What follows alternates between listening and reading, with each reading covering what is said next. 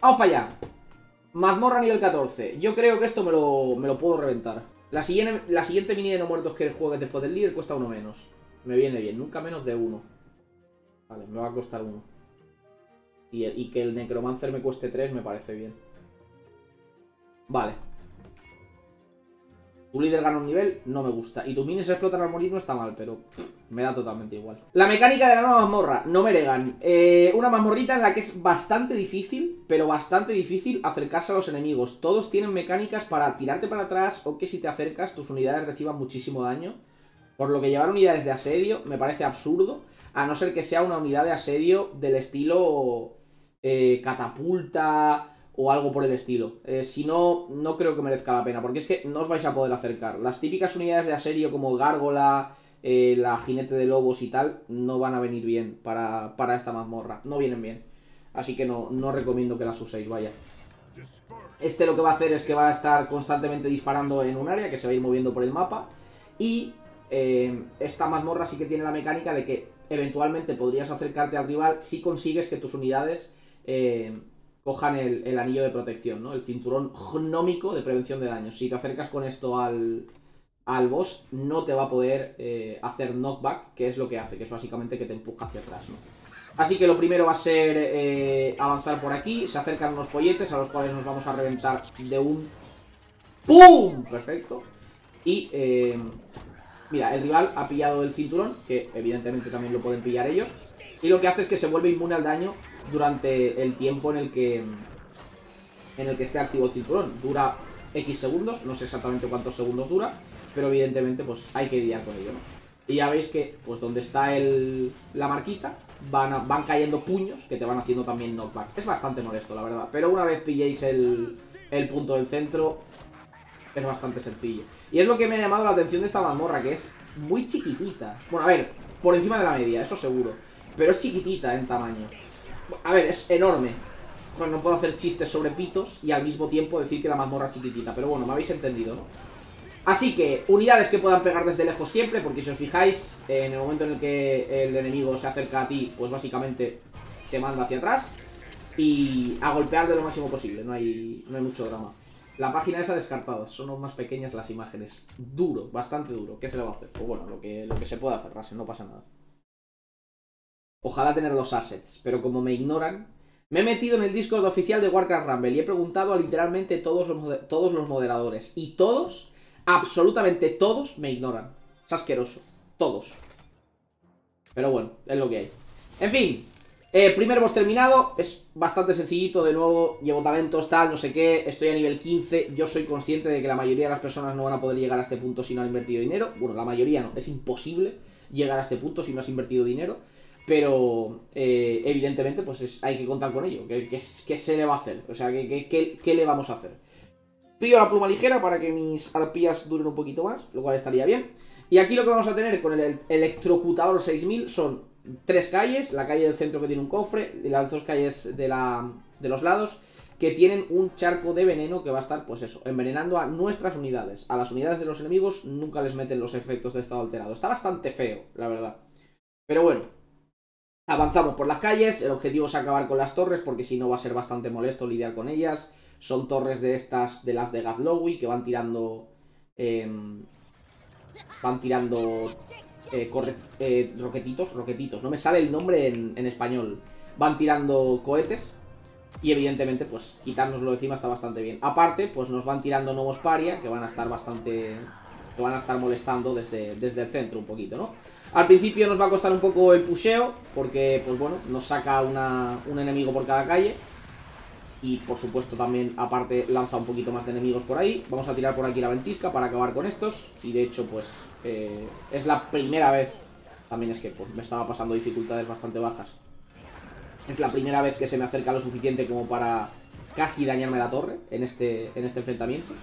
Pero seguramente lo haga, la verdad. Seguramente me, me acabe me acabe, golpeando la torre. De hecho, lo va a hacer este. Ya veis que es bastante molesto el tema de las torres. Muy, muy, muy molesto.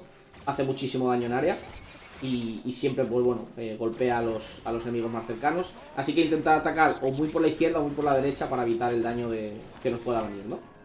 En fin, eh, vamos por aquí con las arpías. Ya veis que mis, mis aliados se quedan eh, envenenados. Una vez consigáis la torre, que es algo que deberíais conseguir lo antes posible, por supuesto, podéis invocar a las unidades lo suficientemente hacia arriba para que no les afecte el veneno. Es decir, si las invocas aquí, que es donde tengo ahora mismo el cursor, no, no, van, a, no van a sufrir el veneno, ¿no? Lo bueno es que al final, pues el enemigo, por mucho que sea la máquina, también tiene recursos limitados y, y no tiene oro eh, infinito para defenderte, evidentemente, ¿no? Así que eh, si estás constantemente atacando una torre, lo más normal es que no te pueda defender, eh, no te pueda atacar por la otra, ¿no? Así que sin más, tiramos esto por aquí, acabamos con la, con la torretita. Acabamos también con esas arañitas tan molestas. Y ahora ya, teniendo las dos torres, esto es bastante sencillo de terminar. Pero bueno, eh, como veis, conforme nos acerquemos, pues pega un capón en bastante área. Y es que ya os digo, acercarte a estos enemigos es bastante complicado. Pero ya veis que ya puedo invocar a las unidades desde aquí. Y no voy a sufrir daño. No voy a sufrir daño. Pero veis, pues bueno, pega, pega bastante duro. Eh. Pega bastante duro el colega. De nuevo, insisto, sé que soy pesado, pero yo tengo talentos. Eh, es normal que no, pero es que yo sin, yo no puedo hacer eso, por supuesto. Lo entiendo perfectamente. Es lo que hay. Eh, ¿Qué os puedo decir, gente? ¿Qué os puedo decir? No se puede. Si no se puede, no se puede. Y ya está. Es que no hay más. De hecho, no me puedo acercar. Entiendo que lo que tengo que hacer es un ataque a doble línea. Porque ya veis que es bastante incómodo el colega. O simplemente nos acercamos desde aquí, vamos haciendo esto por aquí, sacamos esto aquí para picar un poco de oro. ¿Sabéis? Un buen tanque, un buen tanque puede ver bastante más. Quizá un tanque de, daño mágico podría venir increíblemente bien. El elemental de fuego podría ser interesante. Pero bueno, al final acabamos con él. Simplemente es cuestión un poco de paciencia para poder armar un ataque desde varias torres. Porque el ataque ese de área tiene un área abismal. O sea, súper, súper abismal. Así que, pues bueno, está bien. De hecho, eso a una gárgola lo, la derrite. Porque la gárgola mm, eh, evita el daño de, de armadura, vaya, o sea, evita el daño físico, pero el daño, el daño mágico se lo come con patatas, así que una gárgola es totalmente destruida. yo quiero probar la catapulta. La catapulta seguramente la pruebe. Pero bueno. Los hechizos lanzados tienen más tres niveles. No, necesariamente. Las minis con armadura tienen 25 de daño físico. Y supongo que voy a pillar esto para, yo qué sé, para curarme un poco. Pero tampoco es que me haga especial ilusión. En fin. Este último enemigo, el, el último boss de Nomeregan donde vamos a tener que eh, simplemente romper elementos del mapa. Al boss no le vamos a pegar, ya os lo digo yo. Eh, tiene constantemente el cinturón de la primera fase, así que no le vamos a poder pegar. Y aparte, si te acercas, destruye a tus miniaturas directamente. O sea, las destruye, no hay, no hay, mucho, no hay mucho más que decir. Así que, créate una cuenta free to play para hacer guías. Toma, para algo me he gastado dinero. Eh, utilizar los mismos mazos, pero sin, sin talentos. Es lo que hay. Ya ves, por aquí em, hay que utilizar las de, o sea, utiliza las de soldador, te revienta básicamente si te acercas. Y lo que tenemos que hacer es reventar los interruptores, que son estos tres, estos tres puntitos que hay a cada lado, eh, para invocar bombas que salen desde el centro eh, y, dañarle, ¿no? Estas bombas, si él rompe los interruptores, él barra sus minis rompen los interruptores, las bombas vienen hacia nosotros, que es como nos va a hacer daño, aparte de con sus propias minis si consigue pushearnos, ¿no? Em, sin más, no tiene mucho drama, así que para mi gusto aquí sobre todo yo valoro un poco el tema de las miniaturas lentas. Eh, ya veis, acabamos de cargarnos una, spawnea una bomba. Si se la carga él, pues nos va, nos va hacia nosotros. Vamos a sacar por aquí esto para intentar lidiar con el, con el elemental de, fuego este, con el golem de, lava. Por la cara, elemental de fuego.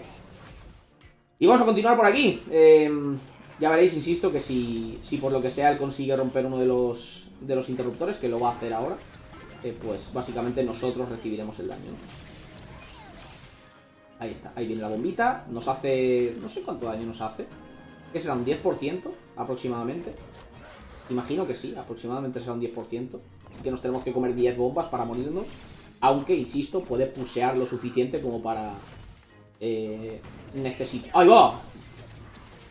Se me movió, se me movió un poco, lo siento. Me lo cargo yo, me lo cargo yo. Ahí está. Esto no es como, como las capturas de...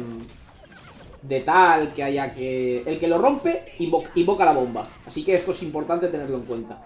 De hecho, yo creo que con el mago sangriento tal, esto puede ser divertido. Este, este, este enfrentamiento. Porque estás todo el rato tirándole hechicitos a las... A las, a las bombas y ya estaría. Pero bueno, evidentemente nosotros tenemos que tirar de bastantes más bombas. Y ya veis que las miniaturas pues van a seguir pusheando, intentando llegar al boss. Pero en el momento en el que se acerquen, pues van a turbo morir. O sea, no hay más. O sea, en el momento en el que se acerquen, y bastante antes, de hecho, van a turbo morir. Sacamos esto por aquí para pillar un poquito de oro. El oro me ha dado la sensación, no sé si será así, que spawnea muchísimo más rápido que en partidas normales. No sé si será si es cosa mía o es, o es de verdad. Pero spawnea, por lo menos a mi gusto, bastante más rápido. Buah, esto es buenísimo. Voy a poder picar todo este oro. Y ahora tiramos aquí. Ya está, se acabó. Perfecto. Evidentemente, yo creo que voy a poder pusear hasta un nivel bastante alto. Pero bastante, bastante alto. Ahora mismo mi mazo es una barbaridad. Y este héroe es buenísimo y la combinación es buenísima. Así que igual este lo puedo pusear hasta mínimo 18, 18, 19, no lo sé.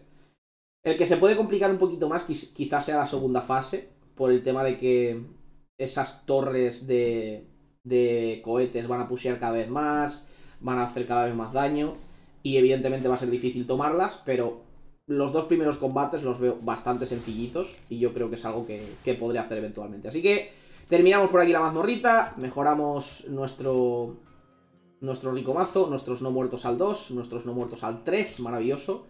Em, y lo suyo pues sería intentar sacar un mazo full dorado con, con este tío que para algo está tan, tan, tan, tan roto. Aunque al final para PvP no me sirve de nada, pero bueno.